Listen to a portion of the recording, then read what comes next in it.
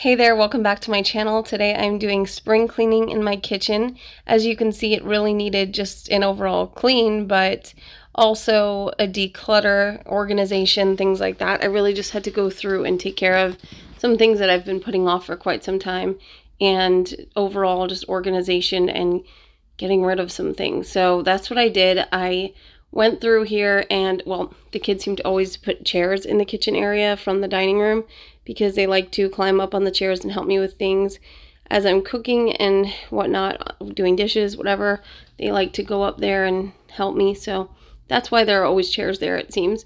So I do need to figure out a better system for that. But for now, we're just always moving chairs around. And that's fine. So Anyway, as you can see, I had the games up there on the shelf and I really wanted to put the microwave up there, but I hadn't been able to figure out a good way to do that until now. I didn't think the cord would reach, but it actually did, so I was really happy about that. And since I know I'll probably get questions about the wipes that I'm using, what I do is I fill, not fill completely, but I put in that gallon sized jar, I will put half water, the solution that I use, half water, half vinegar, and a couple drops of dish soap. And then I just put some rags in there. I actually just got some cheap cotton washcloths from Walmart and then just put that in there. I'm going to try some with sponges and see how that works out. Just sponges with like terry cloth on the outside. I don't know. I ordered them. We'll see how like what they wind up looking like. Also, we had an ant problem, and we always have ants in this house, whether it's even in the winter. My husband calls them winter ants. It's it's pretty aggravating. If you know me, you know I'm like super freaked out by bugs. And anyway, so I I've been having like 15 heart attacks every single day from these bugs, these ants, and they they drove me crazy. In the winter, I was like, this isn't right. They're not supposed to be here all the time, like every day.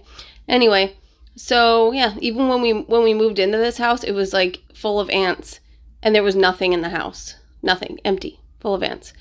Um, not empty because there were ants, but anyway, uh, there were also like just different kind of bugs when we moved in. But again, that wasn't like that was before we were even actually moved in. So something must not quite be right, but this is a rental and we will be hopefully buying a house within the next couple years. We will see. And anyway, so here I am just organizing the canisters using my label maker, which I can leave linked down below. I love this thing. And as you can see here, I just have some random jars of things. I have the wipes, which I at first didn't know where to put, but then I ultimately wound up keeping them on this counter as well. But then I have just some baking supplies like flour, sugar, brown sugar, chocolate chips, hot chocolate mix, I think, pancake mix. And I have one of the jars for wheat berries that I grind. So, well, like flour, obviously. So, like the hard white wheat. I have hard white wheat berries and I have a mill, like a hand mill, I guess, but I haven't ever opened it. And I think I ground a little bit. I tried different ways to grind it, but it didn't come out fine enough into like the kind of flour that I wanted. So I just nixed that, but I kept the canister. I cleaned it out really well and I just keep it there for when I'm ready to put the flour in. So for right now, I have plenty of all-purpose flour. You'll see later in this video how I've been using up flour that I keep in storage. So anyway, yeah, that's just what I'm I'm just keeping an empty canister there for I don't I don't know why. it's not maybe the best situation, but um, yeah, I don't think it looks bad. It's fine. So I'm just probably going to replace it with another canister of something else further down the road, I guess. So as you can see over here on this counter, there is a red stain of something. I don't know what it was. I'm trying to think like what did I make that was red? I mean, the kids make concoctions all the time, but I mean, do we make red jello? Like I don't remember, but so I used the pink stuff to try and get it off and it did lighten the stain quite a bit, but it did not remove it completely. So I don't know what I'm going to do about that, but for now I just left it as is and maybe eventually as I keep wiping down the counter, eventually it will just come off. But yeah, for now, I just didn't know what to do about that. It's fine. It'll be fine. and over here, I am cleaning off my recipe book stand, which I love this thing. It's heavy duty. They had a few different color choices back when I got it, I think a few years ago. And I'll try to leave that linked below too. Hopefully I remember to do that because that's just like such a random thing, but um, yeah, I guess all these things I'm mentioning are kind of random, but yeah, whatever I can in this video, even if I forget to mention it, I will link it below because I love the things that I have in the kitchen and elsewhere. I just love the things that I have. So yeah, that's that stand and it gets really dusty and it's been a while since I cleaned it. So I was really glad to have gotten that. You can see there are a lot of cracks and crevices that just collect dust. So yeah, just really trying to move things around, to clean under them, which is something, you know, that happens typically anyway when I'm cleaning off the counter to move things around. But I obviously did some extra things in this video because it is more of a deep clean, more of a spring cleaning situation. So down there on those shelves, I just kind of keep some random produce. And for the most part, that's usually what I put there. And parchment paper. I don't know, it's so random, but the parchment paper box is big, so it won't fit in the drawer. And the foil and plastic wrap and whatever I have in the drawers already barely fit. So, anyway, and then I have to keep the Ziploc bags in like another random spot. So, it's not the best situation, but this kitchen is kind of funky.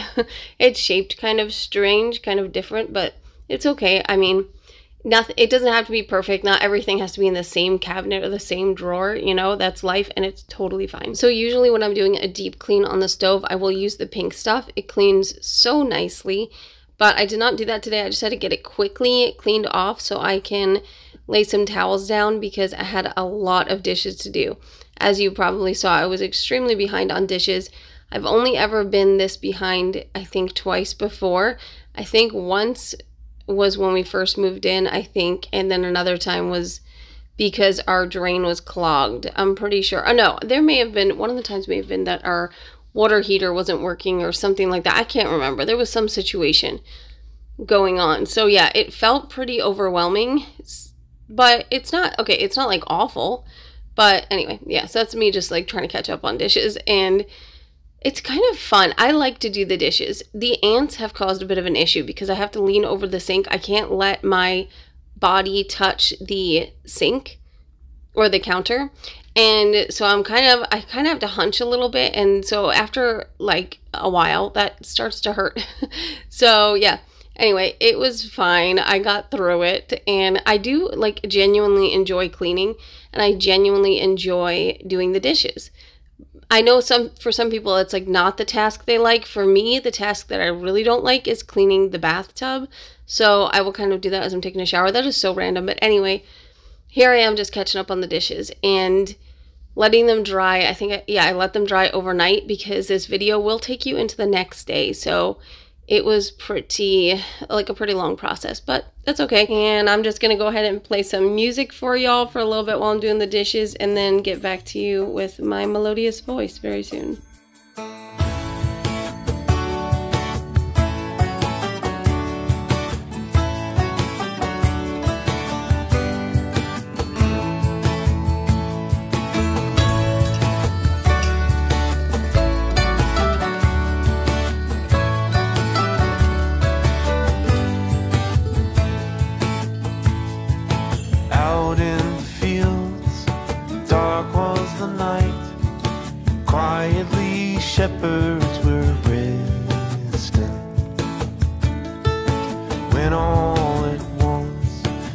flashing of lights, the chorus of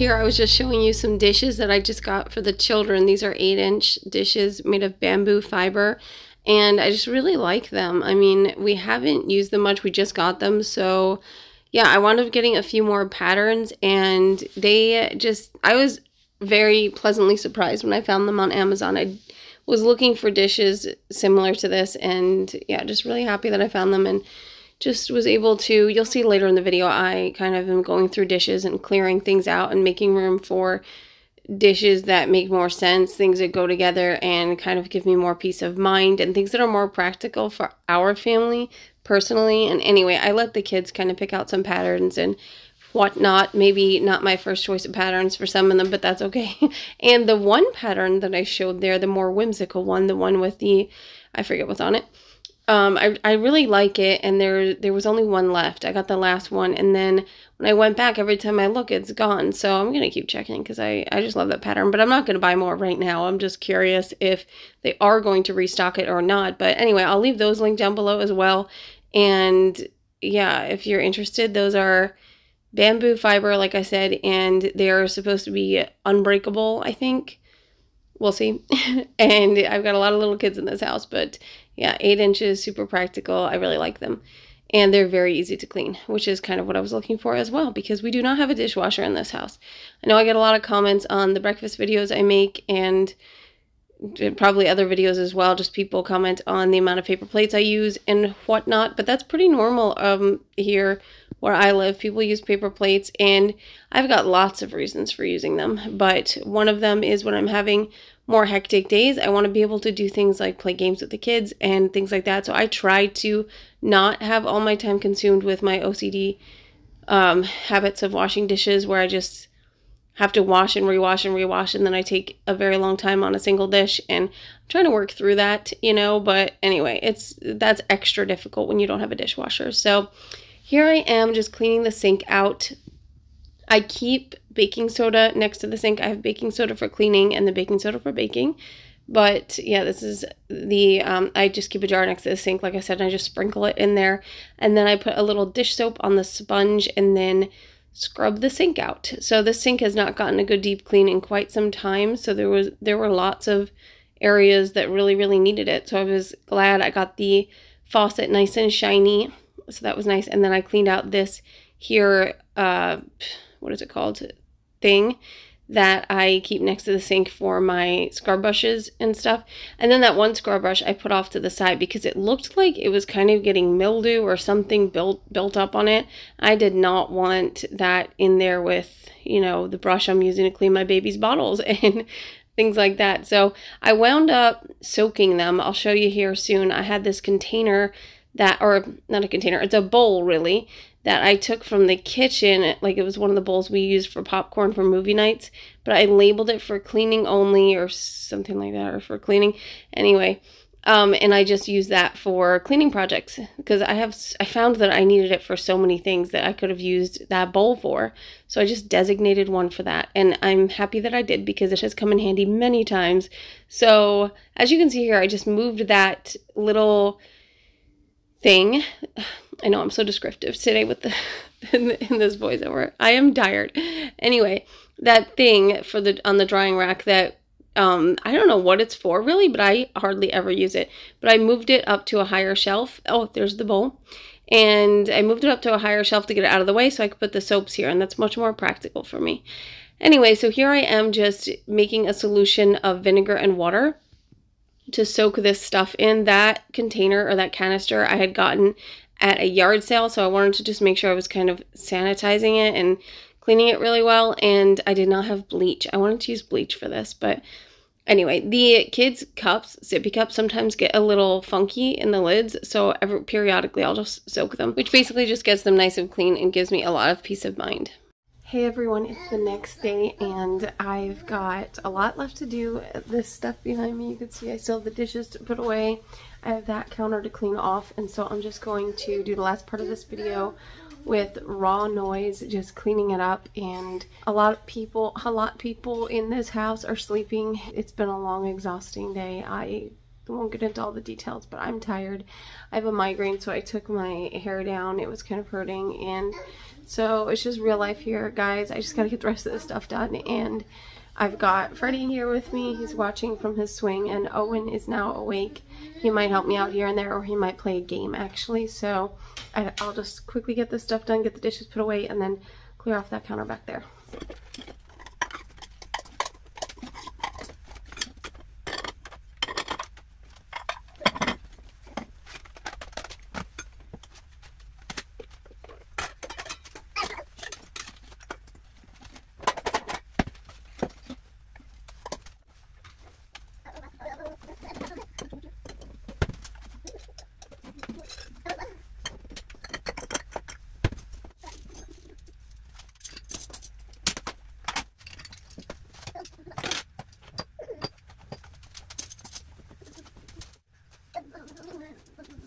So one thing I'm about to do is go through my plates, some of my dishes and stuff, and kind of uh, just put things to the side that I won't be, that I will no longer be keeping because I don't use them.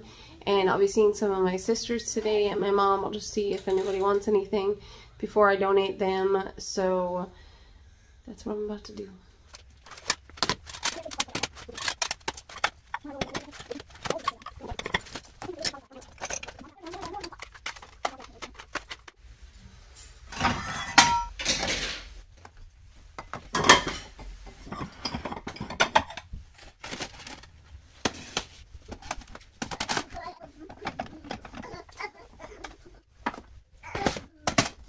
So for now, this is what I'm keeping. These plates I'll probably not keep, but for now, like I said, keeping those in there. And I got my some kids plates, kids bowls, more kids plates, just regular plates, snack plates, and more kids plates. And I'll just be replacing our dishes with some other dishes.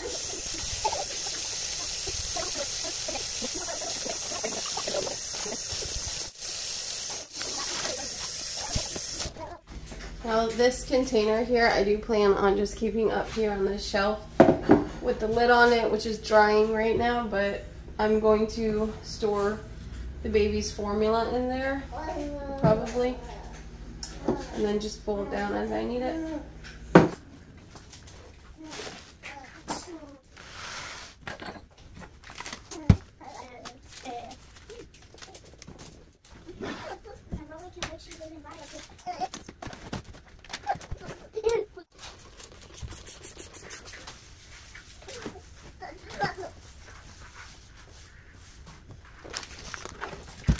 So what this right here is, is flour that I keep this, I don't know if, yeah, you can kind of see it. I keep this container here that has, it has a stuff inside that I need to sift the flour. And then these were packed away in storage with um, oxygen absorbers. And so I keep this close by the strainer and then the strainer, the sifter, and then sift some when I need it and then just put it into the flour bin when I need it. So I'll just keep that over here, it's fine.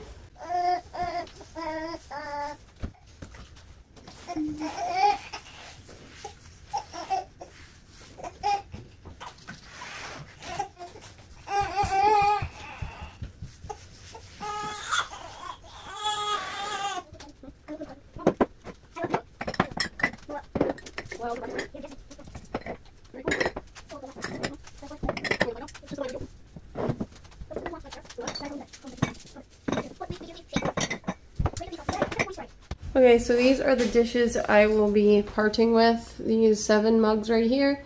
These plates, that bowl, and there's another bowl in the sink, and I think there are, there must be a bowl somewhere else, but I do not know where, so I will try and figure out. I know we had like probably just three or four bowls, so unless, no, we may have gotten rid of another one because I knew I was getting rid of the dishes, so I don't know. Anyway, so these are the dishes we have for now, and there's a lot more I could be doing in this kitchen such as like organizing these shelves. I just won't get to it today or for the next while.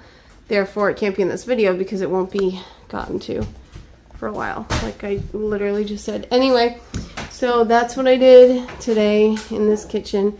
I could probably clean off the front of the fridge, blah, blah, blah, but I'm glad I got the bulk of it done. I definitely got a lot done. I'm excited to have the formula up there. I know it's trivial, not not a big deal, but it's exciting for me. I'm excited that I got the microwave up there.